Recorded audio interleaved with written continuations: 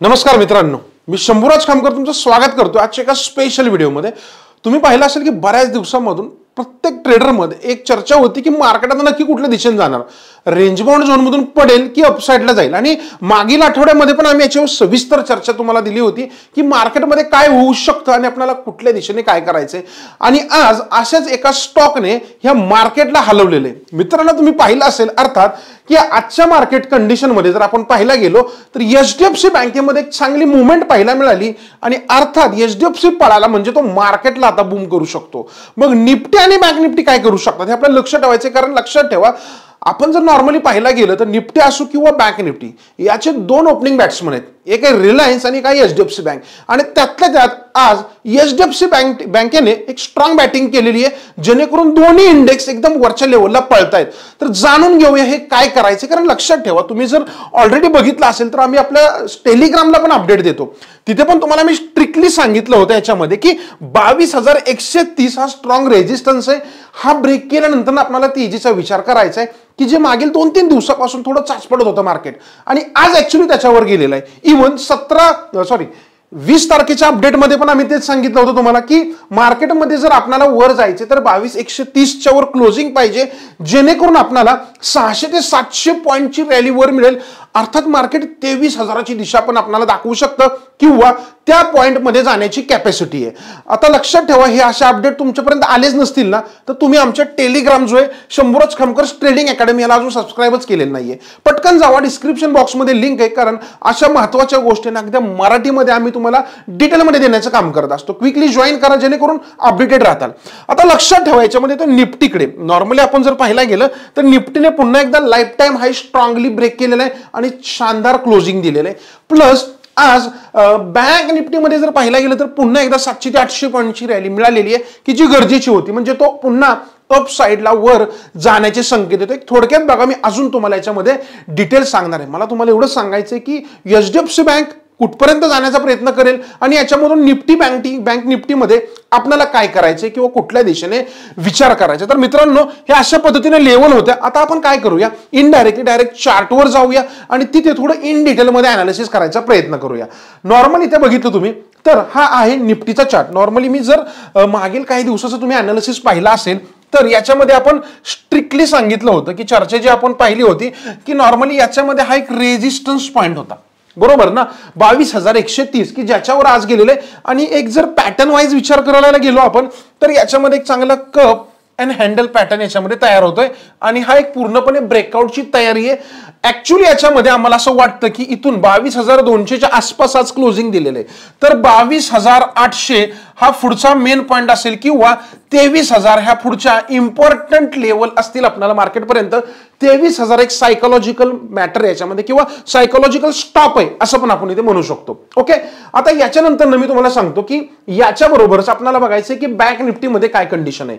तर सगळ्यात महत्वाची गोष्ट की बँक निफ्टी एवढ्या दिवस जर तुम्ही एक गोष्ट ऑब्झर्व केली असेल ना तर ह्या रेंजमध्येच पूर्णपणे चाचपडत होता.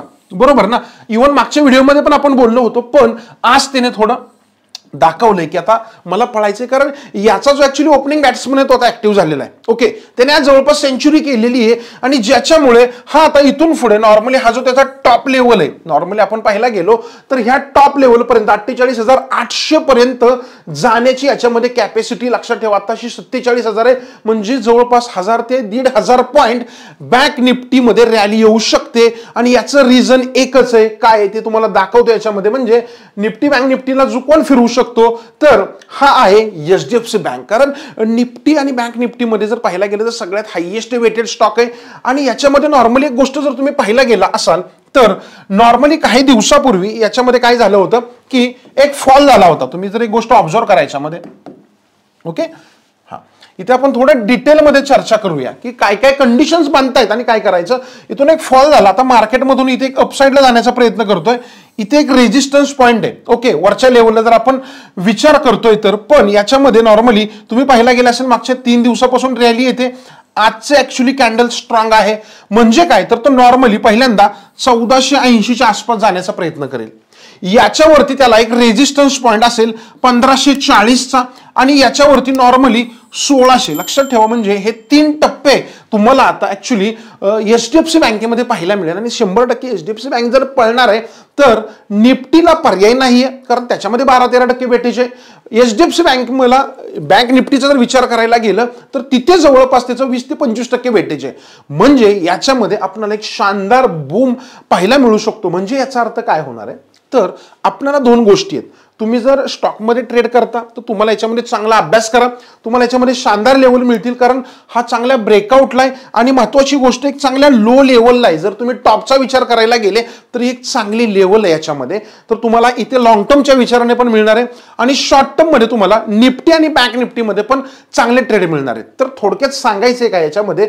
तर सध्याच्या कंडिशनला जसं आपण आधीही चर्चा केली होती की मार्केट जर बुलिश जाते तर आपण बुलिश विचार करूया. मग कुठपर्यंत बुलिश व्हायचं आहे तर चौदाशे पन्नासपासून एक सोळाशे पर्यंत म्हणजे जवळपास एक दीडशे पॉईंट अप्रॉक्स याच्यामध्ये एक अपसाईड मोमेंटम आपल्याला पाहायला मिळू शकतो. आणि याचे दीडशे पॉईंट म्हणजे बँक निफ्टीचे दोन अडीच हजार पॉईंट मिनिमम देणार. आहे निफ्टीमध्ये चारशे पाचशे पॉईंट रॅली कारण रिलायन्स पण ॲक्च्युली वरच्या लेवलला आहे तर मार्केट जी दिशा दाखवते त्या दिशेने विचार करा. Properly stop loss risk reward रेशोनुसार place करा आणि त्या दिशेने जाण्याचा प्रयत्न करा. समजा मित्रांनो? आता हे मेन रिझन आहे. मग ह्याच्या मागचं रिझन काय आहे बरं? काय H D F C bank पळतोय? कारण तो एका कन्सॉलिडेशन फेजमध्ये होता आणि त्याच्या बॉटमपासून वर जातो. आणि याच्यामध्ये जर पाहिला गेलं तर महत्त्वाचे याच्यामध्ये तीन रिझन्स आहेत की H D F C bank boom का होतोय. लक्षात ठेवा.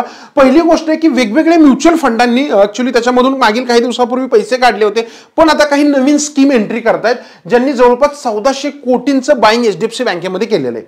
दुसरी गोष्ट H D F C bank receiving चारशे मिलियनचा इन्फ्लो चारशे मिलियन डॉलरचा इन्फ्लो येतो त्याच्यामध्ये एफ टी एस सी अर्थात फायनान्शियल टाइम्स स्टॉक एक्सचेंजकडून. ओके? आणि सगळ्यात महत्त्वाची गोष्ट बँकेमध्ये थोडी लिक्विडिटी कमी झाली होती आणि बँकेनं त्याचा आता फोकस केलाय की त्यांच्यामध्ये इन्क्रीमेंट इन लिक्विडिटी डिपॉझिट जेणेकरून याच्यामध्ये L D R or liquidity coverage ratio ह्या दोन्ही गोष्टी यावर बँकेने फोकस केलेला आहे. ह्याचा इनडायरेक्टली किंवा डायरेक्टली इम्पॅक्ट कुठे होत असतो? तर स्टॉकच्या प्राईजवर म्हणजे फंडामेंटल चांगलं झालं तर नॉर्मली त्याच्यामध्ये इन्स्टिट्यूशन्स एंट्री मारतात. आणि त्याच्यामुळे हा स्टॉक पळतोय. म्हणजे निफ्टीमध्ये एक कन्फर्मेशन का मिळतंय? तर तो ब्रेकआउट देतोय. आणि इथे एच डी एफ सी बँकेला सपोर्ट देतोय. तर त्याच्यामुळे आपण पण काय विचार करायचा? जिकडे मार्केटची दिशा आहे तिथे आपल्याला सध्या विचार करायचा आहे. आणि मी म्हणेल की स्टॉप लॉस लावा प्रॉपर रिस्क रिवॉर्ड रेशोनुसारच पुढच्या दिशेने जाण्याचा प्रयत्न करा. कारण एच डी एफ सी हा बॉटमपासून बाउन्स बॅक करतोय. थोडा ओव्हरसोल्ड झोनमध्ये आहे आता. त्यामुळे ते सेलिंगचा विचार चुकूनही करू नका. अपसाईड दाखवतो विचार करा. वरच्या साईडचा आता हे सगळं करताय. परत प्रश्न पडेल की गुंतवणुकीचं काय करायचं आपल्याला लॉंग टर्म असेल शॉर्ट टर्म असेल म्युच्युअल फंडांच्या स्कीम्स असतील काही लोकांच्या तिथे तर इन्व्हेस्टमेंट करायची आहे नवीन एंट्री करायची आहे तर काळजी करू नका. याच्यामध्ये तुमच्या सपोर्टसाठी आमची फिनशा हे ऍप्लिकेशन आहे ओके तर फिनशॅक हे काय? तर याच्यामध्ये तुम्हाला गोल्ड बॉन्ड्स डिबेंचर्स आहे लक्षात ठेवा. म्युच्युअल फंड असेल अगदी डिमेट अकाउंट ओपनिंगपासून सगळ्या सुविधा मिळतात आणि ही आमची स्वतःची कंपनी आहे. लक्षात ठेवा. फिनशॅक म्हणजे फिनान्स बाय शंभूराज खामकर. तुम्ही डाउनलोड करा हे ॲप्लिकेशन डिस्क्रिप्शन बॉक्समध्ये त्याची लिंक दिलेली आहे. तुम्हाला डिमॅट ओपन करायचं असेल तिथून करता येईल. म्युच्युअल फंड सिलेक्ट करायचे घ्यायचे आणि काही मदत लागली तर तुम्ही बिंदास्त आमच्या टीमला त्यावेळी कॉल करा. आठशे ऐंशी दोनशे ऐंशी नव्वद नव्वद हा आमचा कस्टमर केअर नंबर आहे. जेणेकरून तुम्हाला क्विकली सपोर्ट याच्यामध्ये मिळेल आणि तुम्ही ह्या तेजीचा फायदा येणाऱ्या काळामध्ये घेऊ शकता. तर मित्रांनो आशा करतो आजच्या व्हिडिओमधून सगळ्या गोष्टी समजल्या असतील तुम्हाला काय आहे मार्केटची दिशा कुठपर्यंत मार्केटला घेऊन जाऊ शकतं आणि का घेऊन जाऊ शकतं हे तुम्हाला आम्ही याच्यामध्ये सांगितलं. प्रॉपर फोकस करा आणि एक चांगल्या तेजीचा तुम्ही फायदा उठवून घ्या. महत्वाची गोष्ट आजचा व्हिडिओ कसा वाटला प्रत्येकाने कमेंट करा कारण असे इंटरेस्टिंग व्हिडिओ आम्ही तुमच्यापर्यंत जास्तीत जास्त घेऊन येणार आहोत. धन्यवाद.